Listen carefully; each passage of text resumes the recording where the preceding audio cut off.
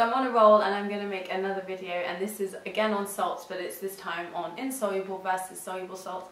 Depending on what exam board you're studying, um, you will need to know this or you won't. I'm really aiming this at the IGCSE candidates. This is horrible because it literally is just rote learning. You have got to learn this enormous grid and work out basically which salts are soluble and which ones are insoluble. Now I teach lots, lots of different people and some people like to learn the grid um, which I just couldn't do because there's so many things in there and other people just like to learn the rules which is much more what I would do and then you can deduce afterwards which salts are soluble or insoluble. So I'm going to obviously show you the grid which is here. Now don't panic, I know there's a lot on there but it is easy if you know how and there's just a few rules you need to learn. Firstly, all ammonium, sodium, potassium compounds are soluble. So it doesn't matter what else is in the name of the salt, if you see one of those three words, ammonium, potassium, sodium, it's soluble. Secondly, all nitrates are soluble. Same thing, if you see the word nitrate, it's soluble. Then it gets slightly tricky and we look at the chlorides. Now most of the chlorides are soluble, but you're going to have to learn some exceptions. And those are silver chloride and lead 2 chloride. So if you see either of those compounds, it's insoluble. Then we have the sulfates. Again, these are all soluble with a couple of exceptions. And again, it's lead 2 sulfate. And this time we've got barium sulfate and calcium sulfate. Both of these are insoluble. Now we flip and we say that the next set of compounds are insoluble and they are the carbonates. So all carbonates are insoluble, but there are exceptions to that and they're the first things we talked about. That's ammonium, sodium, potassium, carbonates are soluble.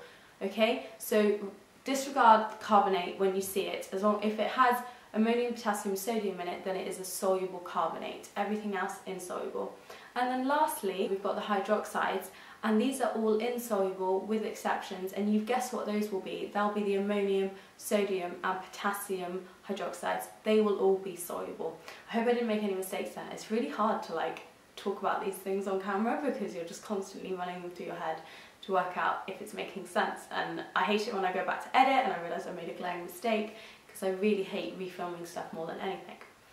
Anyway, next up you need to know how to make these salts and that is really unpleasant. It's probably my least favourite thing that I teach to my tutees and my students. However, they have to do it, you have to do it, therefore I'm going to have to do it. First of all, we need to work out if our salt is soluble or insoluble based on what I was just talking about. Now there are three methods you need to know about. Firstly, the insoluble salts method, and this is the most straightforward method and it's the precipitation method.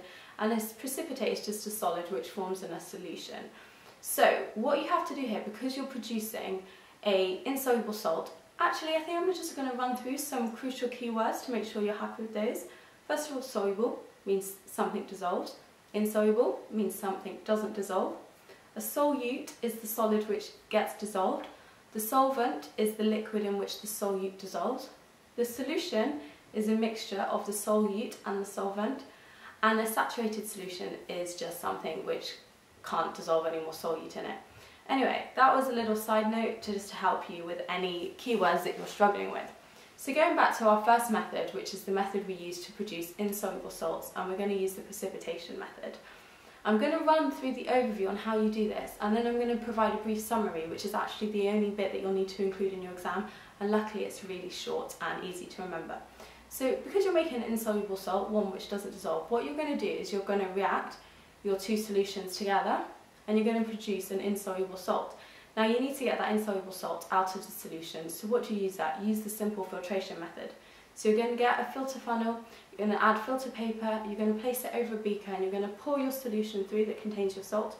Because the salt's insoluble, it will stick to the filter paper while the rest of the solution will drain through into the beaker and you'll be left with your wet crystals, your wet salt basically sat in your filter paper. So what you need to do then, you need to allow it to, first of all you need to wash it to remove the excess solution and then you need to allow the whole thing to dry and therefore you'll be left with your insoluble salt. So the summary, so this is the only thing you need to write in the exam, even though the question will be worth four or five marks, is react, filter, wash, dry. And I promise you only need to mention those few words. You can add a few extra details to make your answer look more sensible, but really in essence what you need to say is that you need to react your solutions together, you need to filter, you need to wash off the excess solution and you need to dry the crystals. And that's it, done. So remember those are the insoluble salts, so that'll be most of the carbonates, most of the hydroxides, the few exceptions like the silver chlorides and the lead 2 chlorides and the lead 2 sulfates, etc. Okay, now we get more complicated and we start looking at the soluble salts. And there are two methods you need to know, and it, which method you choose depends on whether you're talking about the ammonium, potassium, or sodium salts or the rest. So we're going to talk about the rest.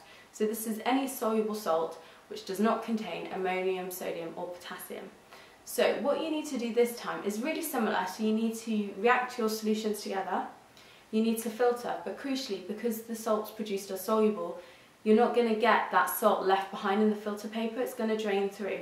So you're going to use the filtering method to remove the excess solid, but then you're going to be left with your solution, your salt solution in the beaker. So at this point you need to evaporate off the excess liquid. So what you're going to do is pop that solution in an evaporating basin over a gauze on top of a tripod with a Bunsen burner sitting on a heatproof mat underneath and you're going to use the heat from the Bunsen burner to evaporate off that excess liquid and you're going to be left with the salt. So your summary here is react, filter, evaporate, cool, dry. So remember you're going to react, filter, evaporate, cool and dry. You're evaporating to remove that excess liquid, you're cooling because you need to let the whole thing cool down and it's going to dry and remove all that excess liquid, the last bits of liquid left on your salt. And that's it, done. Really similar to the first method, the precipitation method, but just with that added step of using the evaporating basin to remove that excess water. Your third and final method is for soluble salts which do contain potassium, ammonium and sodium, and this is the most complicated method. You can't just react the metal with the acid and expect the salt to form because remember things like potassium and sodium are unbelievably reactive unbelievably reactive. They're in group 1 they react with the moisture in your hands. You can't go adding them to acid because you'll end up with an explosion. So you're not allowed to use that method. Equally you can't just react them together because what happens is the product produced is so soluble that it just dissolves away again and you're left with nothing. So you, you just can't use that method.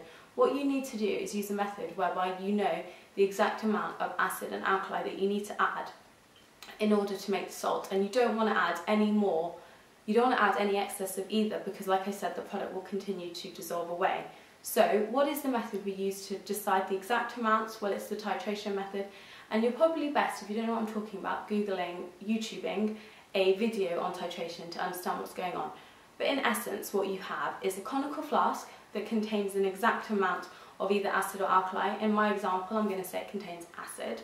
And you're going to have used a pipette to accurately measure out that acid to the nearest, literally the nearest drop. So you know exactly the amount of acid in your conical flask. In your burette, which is a very tall glass cylinder, that's going to contain your alkali. And what you need to know is the amount of alkali that needs to be added to the acid to get neutralization. So you're going to need an indicator, and there's lots of different indicators, things like phenolphthalein, methyl orange. I'm going to use phenolphthalein. So I'm going to add a few drops of indicator to my acid in my conical flask. And what you will find is it will be colourless. And then you turn the tap on the burette and you start adding the alkali.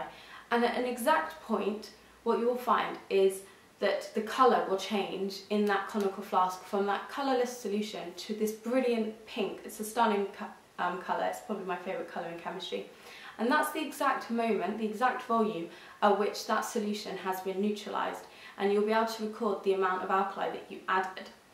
After that, because you now know the exact volumes of both the acid and alkali, you know the exact volumes you need to produce your salt.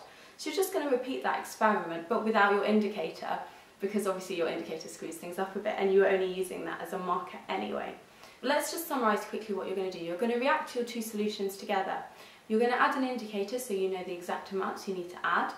Then you're going to repeat the whole thing again but without the indicator because you've worked out the exact volumes that you need. Then you're going to evaporate because remember it's soluble so you're not going to be able to filter that properly. So you're going to evaporate it to remove the excess liquid and then you're going to cool and dry it. So it's like a mixture of the previous two methods for making salt. I'm going to give you a summary now which is the minimal amount of things you need to learn. So you're going to react, you're going to use the indicator, you're going to repeat the experiment without the indicator, you're going to evaporate, and you're going to cool and dry.